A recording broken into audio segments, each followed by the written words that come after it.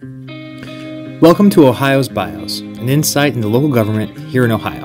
I'm David Thomas and serve as County Auditor for Ashtabula County in Northeast Ohio. Local government impacts each of us every day, but how much do we really know about the organizations and the people who make everyday life possible? Join me as I speak with the leaders in local government making a difference in our communities every day.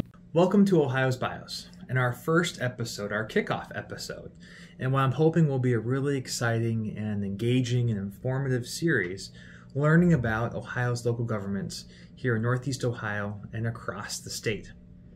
You know, 219 years ago, Ohio joined America's other 16 states in becoming a member of this growing new nation.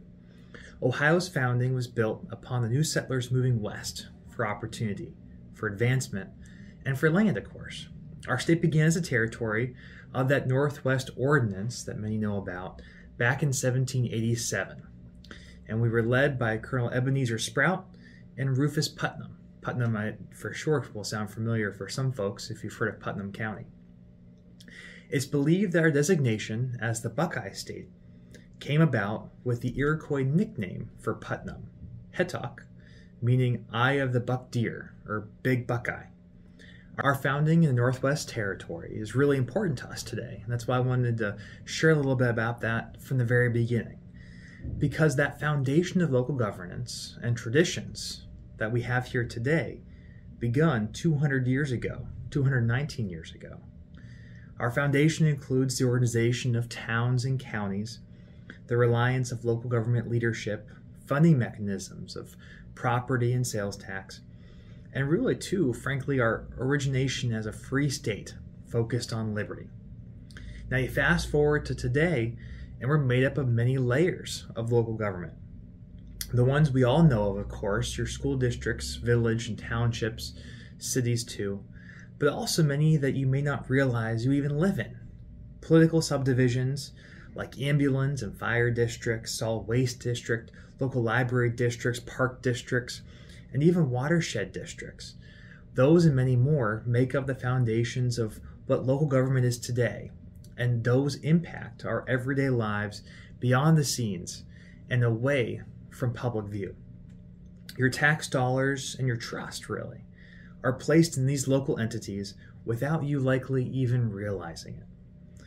So, this podcast will help shed light on the people behind those local governments as we learn about services they provide, the challenges and the opportunities they face, and why they have a passion for working for you.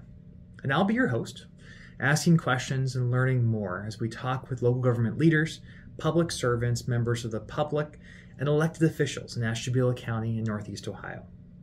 I've enjoyed being in local government since high school in 2010 when I joined my local zoning board. After college, I came back home, won election at 22 to serve as an Austinburg Township fiscal officer in Ashtabula County. Then in 2018, I beat a 12 year incumbent to become county auditor and just won re election in 2022. As we explore together, no individual or local government exists on its own. We all interplay and work together for the community.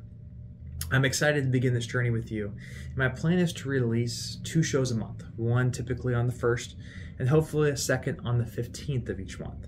These will be perfect to listen to during your commute, your lunchtime, even cooking, evening hours. If you have ideas, suggestions, or questions, just reach out. I'm looking forward to learning together, to spending time together. And thank you so much for listening to our first kickoff episode. Excited for our, our second episode, our first interview, and many more to come.